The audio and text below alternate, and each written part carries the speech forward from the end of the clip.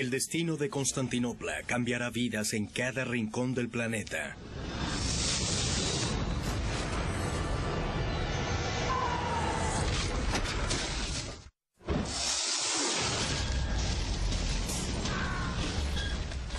El destino de la humanidad puede cambiar en una sola batalla. Si los muros de Constantinopla caen ante los bombardeos de los turcos, el mundo nunca será igual. 69 cañones. Equipos a dedicación exclusiva trabajando por turnos.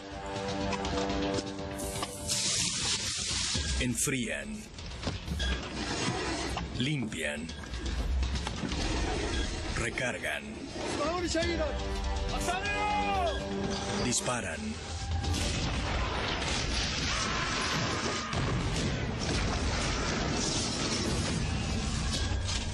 Cada cañón es cargado con hasta 10 bolas de piedra.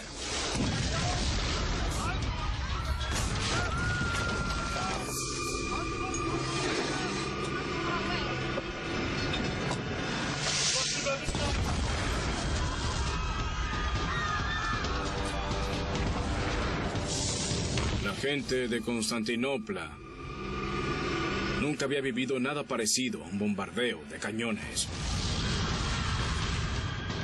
A mí me han atacado con misiles, me han atacado con morteros. Y no es divertido.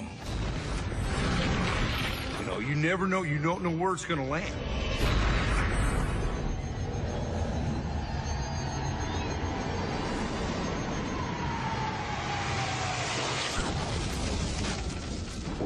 La ciudad es atacada sin cesar durante 53 días. Las grandes bolas de cañón volaban por encima de los muros y destruían las casas de la ciudad. Y al chocar contra el piso, las piedras se destrozaban. Estallaban en una lluvia de metralla de pequeñas esquirlas irregulares que mataban, mutilaban y laceraban a cientos de metros a la redonda.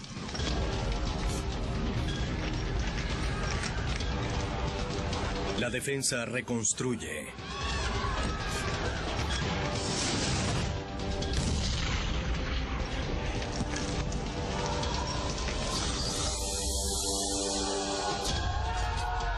Pero Mehmet la traspasa.